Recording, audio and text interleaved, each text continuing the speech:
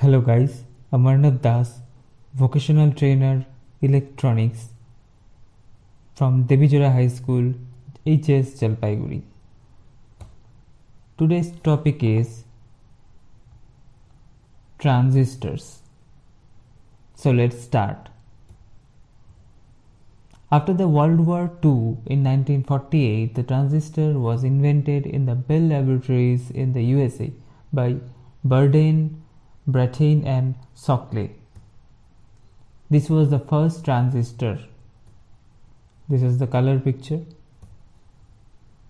So hearing aids were the first commercial application of the new solid state invention in 1952.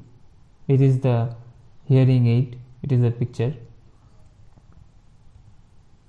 In 1954, the first transistor radio called the Regency TR1 was produced with the help from Texas Instruments.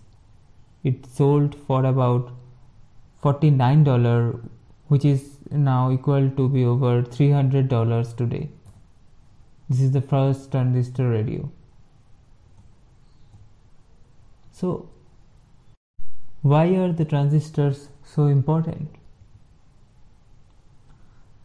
They can be thought of an electronic switch. Okay, the development of the transistor was the key component to the development of the modern computer. Without the development of this transistor, your home computer would look like this gigantic in size. Okay. So next is what is a transistor? In basic terms, a transistor is a semiconductor device made up of three separate parts. Okay, these parts are called the emitter, the base, and the collector. These parts are put together like sandwich, with the base being between the emitter and the collector, like this. The emitter emits the electrons which pass through the device. The collector collects them again once they have passed through the base. Now, what is base?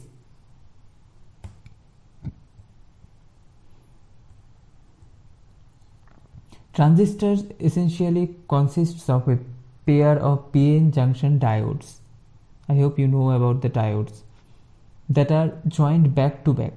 This forms a slot sorry a sort of sandwich where one kind of semiconductor is placed in between two others. There are therefore two kinds of sandwiches. They are NPN and PNP. This is the picture. Now the schematic symbols. This is the NPN transistor. See collector base and emitter and the arrow is in emitter side. Then it is the PNP transistor where same things are there collector base and emitter but the arrow is inside the base I mean from the emitter to base okay? So it is noticeable that the arrow head on the emitter is always pointing towards the part either base or the emitter. Okay that must be more negative for the transistor to turn on. The use of transistors. It has mainly two basic uses. One is to amplify an input signal and the second is to act as an electronic switch. When a transistor is used as a switch it uses the base voltage to turn the transistor on or off. By doing this, transistor can use a very low current and voltage to control a much higher current. When a transistor is turned on, essentially the electrons flow straight from the emitter to the collector. In the next few slides, we will look at the switching performance of transistor okay? Here in left side it is a transistor and it is the switch in the right side.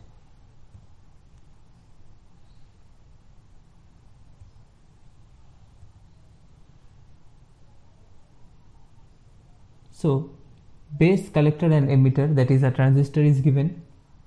Switching is controlled by the voltage between the base and the emitter okay? When voltage of base to emitter is less than 0.7 volt the um, the transistor switches off. Okay. That means no current flows between collector and the emitter. But when the base current is greater than or equals to 0.7 volt then the transistor switches on and the current flows between the collector and the emitter when a transistor is turned on which in the case of the NPN transistor is when the difference between the base voltage and the emitter voltage is less than 0.7 volt there is a no connection between the emitter and the collector. That means it is an open circuit. And if we use a meter to measure the voltage difference between the emitter and the collector we can see all the voltage available. And when the transistor is turned on which in the case of NPN transistor in when the difference between the base voltage and the emitter voltage is more than 0.7 volts there is a connection between the emitter and the collector that is the closed circuit. And if we see through a meter to measure the voltage difference between the emitter and the collector we will get uh, approximately 0.2 volts. The base thickness. The thickness of the base has to be just right. Very thin and base would be essentially vanish.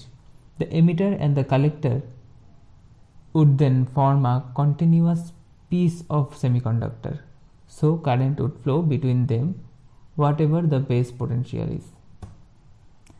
Very much thick and electrons entering the base from the emitter wouldn't notice the collector as it would be too far away. So then the uh, current would all be between the emitter and the base.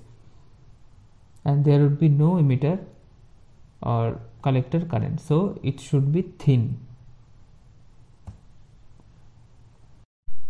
So what is the difference of thickness between these depends on the transistor and the amount of current it contains but on most transistors the base is only micron to an atom in thickness very thin. And why it has to be very thin? To make this. That is integrated circuits. In next videos we'll see how to measure the emitter base and collector i mean how to find and how to find it is a NPN transistor or PNP transistor okay? So till then goodbye. Take care. Please like share and comment. And do subscribe